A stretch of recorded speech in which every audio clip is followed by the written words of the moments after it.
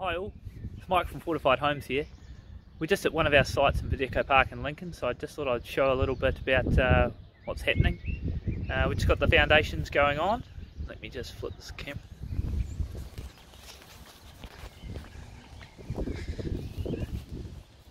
This home's 209 square metres, just over 600 square metre section. Uh, just a bit about the foundation. So we've got some uh, steel in here, standard 3604 foundation, two D16 rods. They form the concrete beam around the ring foundation. We've got the uh, D10 starter rod, nice cap on there, keep us all safe. You can see the ribs in here, that's that's the D, that stands for deformed, deformed bar 16 mil.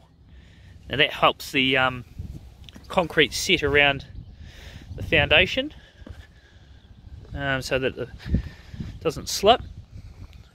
Done a nice site scrape. Ryan and Cody have kept the job nice and clean. Looking great, this is a standard 3604 ring foundation.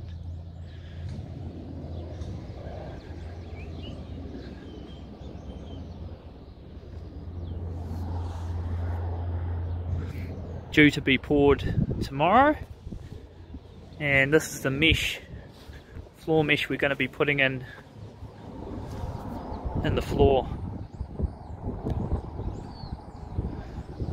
Fantastic